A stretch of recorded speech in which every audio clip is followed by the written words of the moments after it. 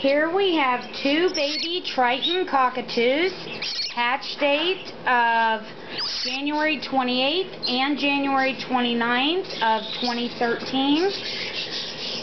They are very beautiful once fully grown.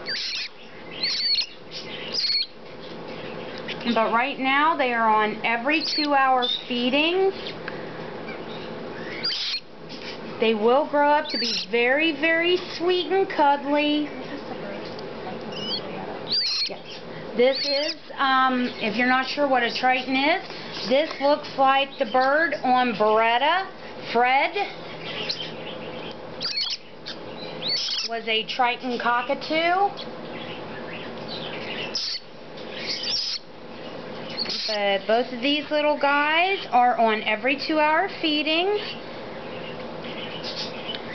And we have two Triton cockatoos, hatch date 128, 129 of 2013.